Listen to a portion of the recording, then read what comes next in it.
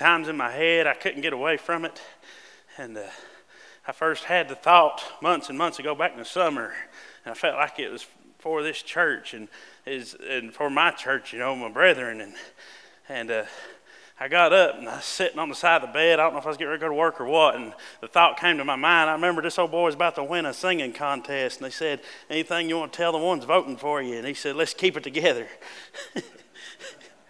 so I was sitting on the side of the bed and I thought, Colter, let's keep it together. and uh, we've got a lot to keep together. First step is you get saved. First step, you believe God, and it's counted to you for righteousness. And that's the first step for each and every one of us, is you believe God, and it's counted to you for righteousness. You believe that His Son died for your sins, and that He asks you in, and He comes into your heart, and He dwells therein, and you're made a new man. And uh, you get saved, and it's a wonderful feeling. Psalms 32, verse 1 and 2, it said, Blessed is he whose transgression is forgiven, whose sin is covered. Blessed is the man unto whom the Lord imputeth not iniquity, and in whose spirit there is no guile, no guile, no deception. I'm glad there's no guile in me. I'm glad that my transgressions are covered and that He imputeth not iniquity to me. He took it on His own shoulders and bore them on an old rugged cross. Oh, that I might live, that I might have an expectation. And that's one of the things I was thinking of. As Christians, we got an expectation. And uh, it says, the hope of the righteous shall be gladness, but the expectation of the wicked shall perish. That's Proverbs 10 28. I'm here to tell you, you ain't got nothing. You don't have an expectation if you're not righteous. And righteousness is from God. There's none righteous, no, not one. Whew, glory to his name. I'm righteous today, not for nothing cold or dead, but because I accepted a free gift brought to me. And then you get saved, and you just won't tell everybody. It's good. I remember I got saved when I was six year old. Don't tell me it wasn't real. I remember going down the hall telling my first grade teacher about it. Woo, glory! Want to tell somebody? Yes. Oh. First thing you're going to realize there's a lot more to being saved than just being made new. There's a lot more to being saved than going to heaven. You're going to look around with them freshly opened eyes and you're going to see there's a war waging and you got two options. You can just sit there content that you're going to heaven while all them around you perish or you can wage war back. In uh, 1 Timothy 1 18 and 19, this charge I com- commit unto thee, son Timothy, that's Apostle Paul wrote him a letter with the Holy Ghost according to the prophecies which went before on thee, that thou by them mightest war a good warfare. Yes, sir. Let's keep it together. We're going to move on to Ephesians here in just a minute. And yeah, we know the suit of armor, and everybody thinks of it keeping us safe. But you know, you can fight back. Yeah, there's some parts of that armor we'll get to in just a minute. You can fight back. And in verse 19 of 1 Timothy, it says, uh, uh, 1, Timothy 1, holding faith and a good conscience, which some, having put away concerning faith, have made shipwreck. You cling to that faith and you war a good warfare. That's how you keep it together. You don't quit, you don't sit idle. That's how you keep it together. We have an expectation and you can redeem that expectation. Psalm 62 5 My soul wait only upon God, for my expectation is from Him. Everything we're going to wage warfare with is from the living God. He's the one that's going to convict us souls, He's the one going to save us souls. But we got a job to tell them about Jesus. That's our part in it. He lets us take part in His glory. Yes. Oh, we'll turn on over to Ephesians. Sometimes I have a hard time. I shake. I get a little excited. oh, so Ephesians uh, chapter 6, verse 10, very familiar. Very familiar. Preacher went over it a little bit a while back. He covered one of the white weapons we're going to do some fighting with. Finally, my brethren, the strong in the Lord and in the power of his might, put on the whole armor of God, that ye may be able to stand against the wiles of the devil. For we wrestle not against flesh and blood, but against principalities, against powers, against the rulers of darkness of this world, against spiritual wickedness in high places. All of a sudden, when you get saved, you're going to start seeing these things, things you never knew, things that are trying to keep you from Jesus. You're going to see them. They're going to be trying to even pull you who are saved, who are redeemed. They want to hinder you in the fight. They want to get in your way these dark things from on high, uh, their own on highs. But I'm telling you, wherefore take unto you the whole armor of God, that you may be able to withstand in the evil day, and having done all to stand. Stand therefore, having your loins girt about with truth, and having on the breastplate of righteousness, and your feet shod with the preparation of the gospel of peace. You know that preparation of the gospel of peace? When you got something on your shoes, yeah, you can run away from that old roaring lion, but you can run at him too. You can take that gospel of peace, and you can go down your neighborhood. You can knock on doors. You can tell them Jesus loves them today. Oh, glory to his name. That's one of the things you can wage war back with. You don't have to flee, you can march towards the enemy. Yes, you can. Oh, feet shod with the preparation of the gospel of peace. Above all, taking the shield of faith, wherewith ye eh, shall be able to quench all the fiery darts of the wicked, and take the helmet of salvation and the sword of the Spirit, which is the Word of God. You've got these things that'll keep you safe. That helmet of salvation. Dear brother, put that on this morning. Yeah, boy, you ain't got nothing to worry about now. Got that breastplate of righteousness. He's deemed righteous in the eyes of Almighty because of the Almighty's precious Son made a way. now he gets to slip on them them feet shod with the preparation of the gospel of peace. He got this, and then he gets to lay hold of the sword of the Spirit, which is the Word of God. This right here, this unerring, oh, this Word of God that is, it cannot be altered. It is forever, and it's God's holy Word. And there's one more thing that we can take the fight to the enemy with praying always with all prayer and supplication in the Spirit, and watching thereunto with all perseverance and supplication for all saints. That's what we got. We got shoes with a preparation of gospel, and we got a sword of the Spirit, this here word of God, and we got a prayer. That's all you need. It's that simple. You want to take a fight to the enemy? That's all you need. It's that simple. That roaring lion going about. Yes, sir. he don't like that old sword of the Spirit none. Defeats him every time. Yeah, something pointy. Glory. Oh. So you gird up in that armor and you, you decide you want to join the fray. Let's keep it together. What do you got to keep together?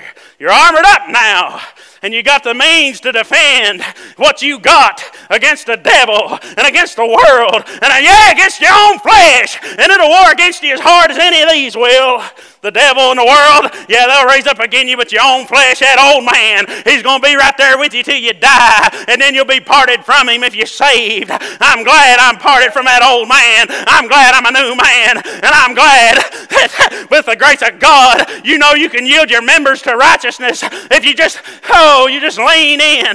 Oh, you can yield this old body that wants to be naturally wicked. You know you can do things for God. You can do things for God. Yes, sir. You don't have to sin. You can just put him in submission. Yes, sir. Oh, we're promised tribulations. In 1 Peter chapter 5, uh, says, uh, Humble yourselves therefore under the mighty hand of God, that he may exalt you in due time, casting all your care upon him for he careth for you. You know, it rains on the just and the unjust. We're promised uh, that this world won't be easy. Uh, we know there's going to be tribulation. Even Jesus told us, it says, uh, oh, Casting all your cares upon him, for he careth for you. Be sober, be vigilant, because your adversary, the devil, is a roaring lion, walketh about, seeking whom he may devour, whom resist steadfast in the faith, knowing that the same affliction are accomplished in you and your brethren that are in the world.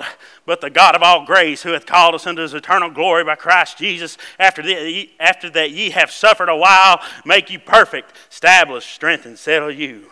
So when these when this suffering comes on you, what are you supposed to do? Oh, Christians, at least we got something to hang on to when suffering comes upon us. When we have a bad day, we got something to hang on to. That's one of the ways this whole world wants us to fall. It wants to squeeze us. It wants to squeeze us and make it hard for us. Oh, to keep on shining for God. But I'm here to tell you, you keep on clinging to Him, and you'll come out as bright as can be, like pure silver. Turn with me over to Job. I'm sorry, it's going to be like a, a sword drills tonight. Uh, I, ain't a, I wanted a, uh, one main text and a few supporting, but I'm, I'm sorry. This is the way it was presented to me, and that's the way you're getting it. oh. So you got them tribulations come down upon you. Life ain't easy. That's just the way it is. It's going to be hard. There's old Job. Oh, contrary winds came about, and the house fell on his little old babies. There he is. His children gone. And then a sickness falls upon him, covered head to toe with balls, cutting it, scraping them off an old shard of pottery. Oh, everything his riches gone, everything gone. And his friends come up, and instead of praying for him like good, godly friends ought to do, they accused him. They accused him, wondering what he did. Oh, but I like the way he answered. This right here is how you get through your tribulations. This right here, when you go to suffering, this is what you cling to. In chapter 27 of Job, oh, they come up to him and. Uh, Oh, moreover, Job continued his parable as God liveth, who hath taken away my judgment, and Almighty who hath vexed my soul. All the while, my breath is in me, and, my, and the Spirit of God is in my nostrils. He's still got Jesus. You say, How do you know he's got Jesus? Jesus ain't come to earth yet. We'll get to that in a minute. My lips shall not speak wickedness, nor my tongue utter deceit. God forbid that I should justify you till I die. I will not remove mine integrity from me. He ain't got nothing left, but he's a clinging to that integrity. My righteousness I hold fast and will not let it go. My heart shall not reproach me as long as I live. Oh, that's how I know he had Jesus. For we know there's none righteous, no, not one. Oh, glory. We know that there's one whose righteousness is everlasting. If you're going to cling to righteousness, and this here Job, I guarantee you, he knows he ain't righteous, but he's a clinging to the one that is righteous. He won't turn him loose. Glory, there wouldn't have been a Job in the Bible. We wouldn't have this here book in the Bible if he had just done what man wanted, if he had done what the devil wanted, if he had cursed God. Instead, it says right here, my righteousness I hold fast. And we know that he got, oh, God was good to him in the end, and he saw him through that mess. Glory to his name. We wouldn't have his book in the Bible if he didn't cling to that righteousness. That's what you do. When tribulations come, you cling to the one that can help you. Even if he did roll over and do what they wanted, how would that help him? No, sir, I'm going to cling to the one that can make a difference the one that formed these hills, the one that formed this body, who puts breath in my lungs, lets me shout the victory, and most of all, sent his only begotten Son that I could, woo, save forever and eternity. Yes, that's who I'm going to cling to. That's how you make it through that there. That's how you make it through the tribulations and the trials of this life. You cling. in another place, he says, My Redeemer liveth. Oh, I don't have an old dad God. I got one that can do something. Yes, sir. Oh, yeah, that old devil wants to take your testimony. That's what you're fighting for. Yes. Old Job held on to it pretty good. Yes, sir. Oh, and then you, temptations will come. Temptations will come. That's another thing the devil will use again you. He'll send them old temptations at you. Oh, in Corinth, 1 Corinthians chapter 10. Hang on, I gotta find my place. Sorry. In verse 6. Now these things were examples to the intent we should not lust after evil things, as they also lusted. Neither be ye idolaters, as were some of them, as it was written, the people sat down to eat and drink and rose up to play. Neither let us commit fornication, as some of them committed and fell in one day three and twenty thousand. Neither let us tempt Christ, as as some of them also tempted and were destroyed as serpents. Neither murmur ye, as some of them also murmured and were destroyed of the destroyer. Now all these things happened unto them for ensamples, and they are written for our admonition upon whom the ends of the world are come. Wherefore let him that thinketh he standeth take heed lest he fall. Yes, sir. Temptation's going to raise up. New Christians, old Christians, it don't matter. There's going to be temptation rise up. Oh, there hath no temptation taken you. This is the part I like. But such as is common to man, but God is faithful who will not suffer you to be tempted above that ye are able, but will with the temptation also make a way to escape, that you may be able to bear it. Wherefore, my dearly beloved, flee from idolatry. You know what scares me? Which temptation scares me? Adultery. That's the one that scares me. You say, You're going to talk about that? Yeah. Jesus in Matthew, he said, uh, to look after a woman and lust in your heart, you've committed adultery already in your heart. I didn't quote it exact. So if that's the case, and you turn over into later in the Bible and it says that ye adulterers and adulteresses, to be friends with the world is, is uh, enmity with God. There's a barrier there if you let that come in. If you let that come in, there's a barrier there. And that's easy sin, easy sin old King David on the housetop that I whew, better to pluck that eye out than the damage it caused. He looked over and there's Bathsheba. And he lusted in his heart and he committed adultery. And then we know that the wages of sin is death. And death came next. But it wasn't for him. You see, that's the problem with sin if you get in sin, brothers and sisters. Death may not be for you you'll work death. My little old niece and nephew back yonder, how would it be if they walked in old Colter was in sin? My testimony would be gone. It'd be gone. And they, they might not ever get saved because of it. They remember me falling. That's the way it is. You say that's a hard pill to swallow. It is.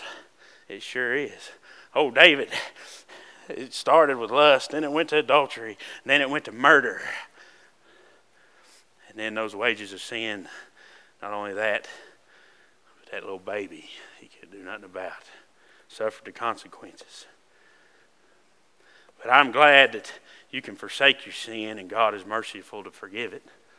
And that's what he did. He didn't utterly cast down his man. He held him up with a strong right arm because he turned from it. Repent means to turn from your sin a good brother came down there and visited David and showed him his sin, and he repented. That didn't undo what happened. It didn't undo the murder. It didn't undo the adultery, and it didn't undo the consequences. So I beseech you, brethren, bear that in mind.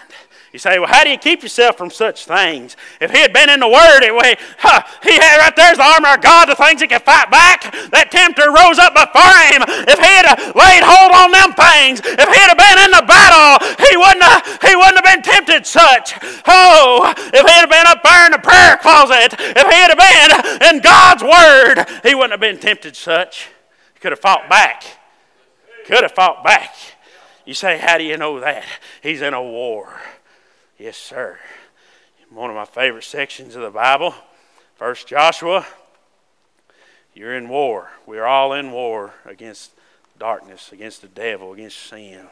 He wants us to fall. But you don't have to fall. The devil, you don't have to give ground to the devil. In the book of Joshua, they're getting ready to go in and fight the enemy. They're getting ready to go in and face the wicked people in Canaan. Oh, and in verse 7 of chapter 1, it says, Only be thou strong and very courageous, that thou mayest observe to do according to all the law which Moses my servant commanded thee. Turn not from it to the right hand or to the left, that thou mayest prosper whithersoever thou goest. It's one of my favorite verses. Whenever I'm getting tempted, I, for some reason that springs to mind. Don't look left or right. Keep on marching. Keep on marching. Lay hold of this law. Lay hold of this law. Don't turn loose of it. Keep on marching. This book of the law shall not depart out of thy mouth, but thou shalt meditate therein day and night that thou mayest observe to do according to all that is written therein. For then thou shalt make thy way prosperous. You can prosper against the enemy today. You get a hold of this law and you don't look left or right and you keep on marching for Jesus. You can prosper. And then thou shalt have good success. Say, what does success look like? Looks like souls getting saved. If you're not busy looking at sin and you're in the battle, you know when you're fighting in that battle, you're not waging war for yourself. You done got the victory. You done got the victory. You done got Jesus in your heart. You're fighting for the man next to you. You're fighting for them co-workers. That's why you bear good testimony, just so they can see Jesus in you and you can tell them about it and they might be saved. You see, you're keeping somebody else from death, hell, and the grave. You're not keeping yourself. Once you get saved, you want somebody else to get saved. yes, sir. Oh. So I told you how to fight off temptation, how to fight off tribulation and trials that are going to come against us. Oh. This last part I forgot, verse 9 of chapter 1 in Joshua. Have not I commanded thee, be strong and of good courage, be not afraid, neither be thou dismayed, for the Lord thy God is with thee whithersoever thou goest. Oh, he's with me everywhere. Yes, sir. He's with me everywhere. I just march for him. You just lay hold of this book of the law and you just step on out there. You see, it's a sword, you see. It don't get dull. Sword of the Spirit. It don't get dull. It's forever sharp. The only time it won't do what it's supposed to do is when you leave it in the sheath. Get it out and use it. You got something to keep. You got an expectation to guard. Yes, sir. Wages of sin is death. Yes, sir. Fight back. You know, glory. You know another part of your testimony. Oh, there's another part of your testimony. That's just the things personal. That's a one-on-one thing. That's the thing we got to keep straight with ourselves, walking with God. That's that's a full order by itself. Walking just you and the Lord and keeping yourself from wickedness and staying upright. That's a full order. But glory. Man that findeth a wife findeth a good thing and obtaineth the favor of the Lord. Actually, a man wants the favor of the Lord. You know, a wife's part of your testimony? She is. She sure is. A good one, anyway. Well, bad one, too.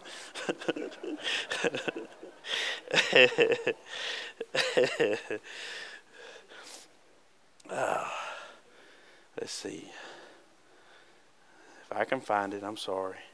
Proverbs 23. Well,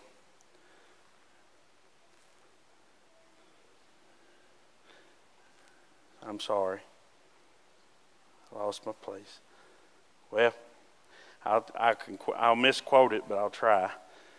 It says that the virtuous woman is a crown to her husband. You got a virtuous wife. That's part of your testimony. Man's got a wife. All he's got to do is work. Huh? 12 and 4. Okay. Yeah. Virtuous woman is a crown to her husband, but she that maketh ashamed is his rottenness in his bones. If you get a wife that makes you ashamed, it's hard to stand there proud for the Lord God if you're rotten from within is hard wearing that armor if your bones is rottenness. You say, what can you do about it? Oh, I believe the Bible also says in Proverbs, a prudent wife is from the Lord. I believe it says that you love your wife as Christ loves the church. A man goes about loving his wife like I think how good God is to me. I don't I don't think I'm able to that. He's good to me. Tender mercies. Yes, forgiveness. A man loves his woman like that, and a woman reverences her husband. That'll stand. That's one thing you can keep together. That's how you keep together. It ain't between a man and a woman. It's three ways. God's in there. Mark 19.6, I don't have it marked, but I got the verse in my heart. Sorry. Mark chapter 19, verse 6.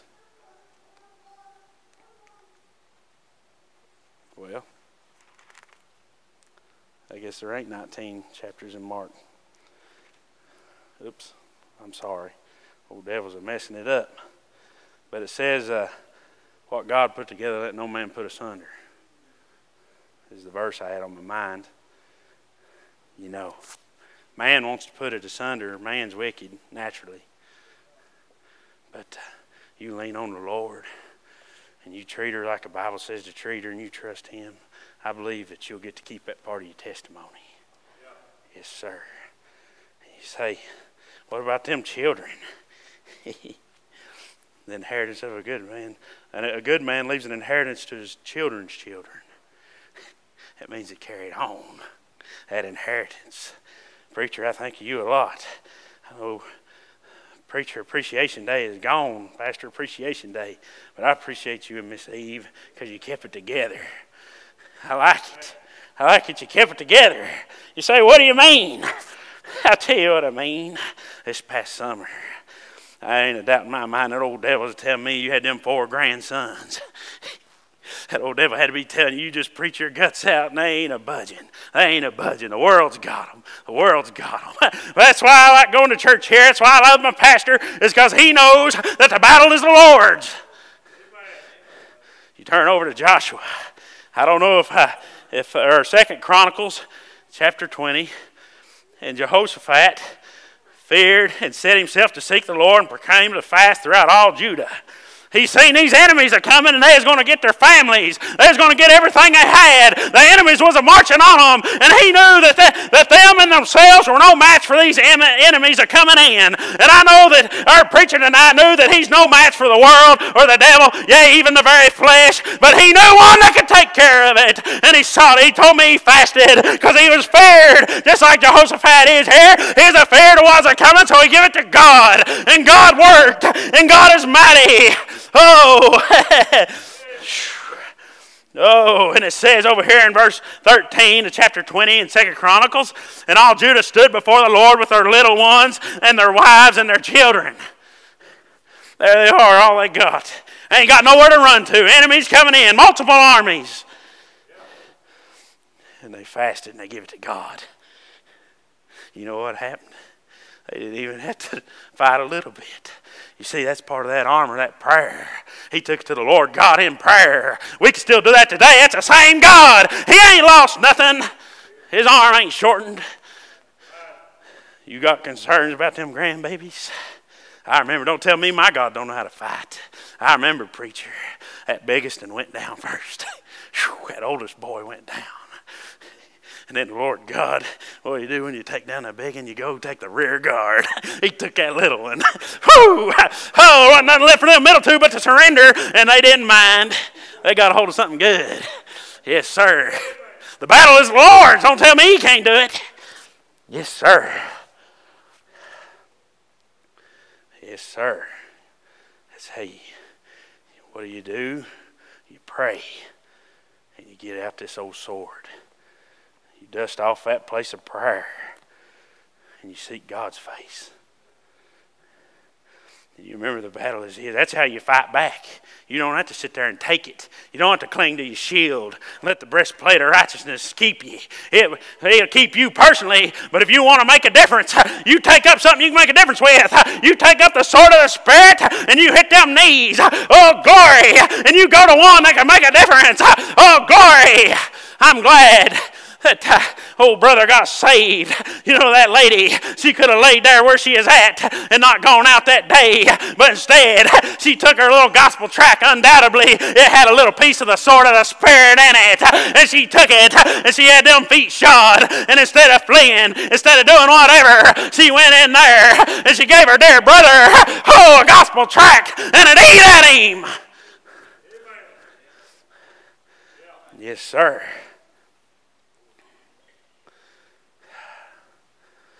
I want to war a good warfare. I want to have a, I want to have a little old family. I want them to be a remnant. I want to be a light to their generation. If the Lord don't come back for then, it could get real bad. We might be in caves, but I want it to get on in that cave. I want to have a good time. People don't set up altars no more. And oh, Isaac, he went back to his daddy's altar. You want your children, you want to set them up, oh, you show them altars. When you're gone, they'll have somewhere to go back to. You show them it ain't strange to talk to God. Yes, sir. Daddy told me they'd go squirrel hunting. They had his excuse to take a little 22 in the woods. He said he put my papa and other men would be a walking. He said every little bit they say, this looks like a good place to pray. This looks like a good place to pray. Don't be strangers to God. He's the one who will fix things. Yes, sir. My expectation is from Him. My soul wait thou only upon God, for my expectation is from Him. I got an expectation in this life and the next because I trust Him. Yes, sir. I used to worry about getting married, you know. I used to worry. That's something, that's one of my expectations. And you might think this is strange, and I, I was worried about it. One night I was laying there, and God gave me a verse. Or I was reading my Bible, and He gave it to me. He don't usually give them to you out of thin air.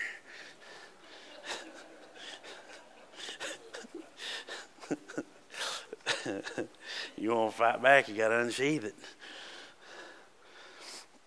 Psalms 84. I was laying there. I'd even been, I was so worried about this because I'm getting old. Or I think I am. And then in verse 10, it, let's see, in verse 11, it says, For the Lord God is a sun and shield. This is Psalms 84. The Lord will give grace and glory. No good thing will he withhold from them that walk uprightly. And it says, O Lord of hosts, blessed is the man that trusteth in thee. And then I remembered that man that findeth a wife findeth a good thing. He will withhold no good thing. Yes, sir. I ain't worried about it too much. I'm going to be cautious. I don't need no rotten bones.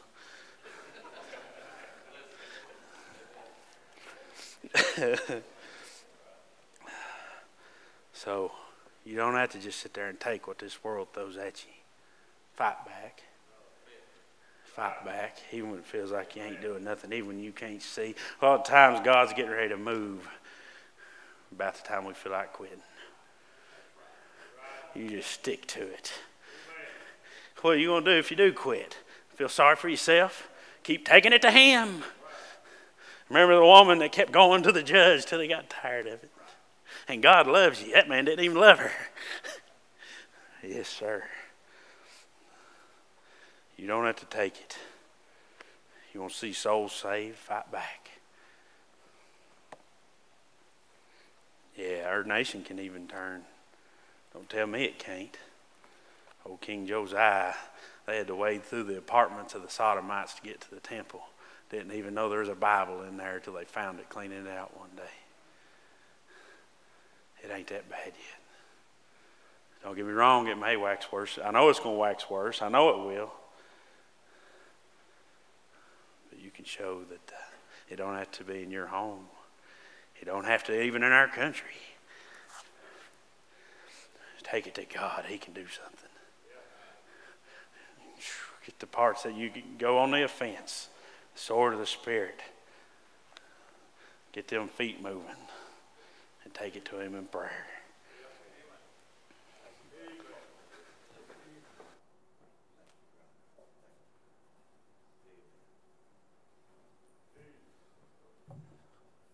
Well, amen.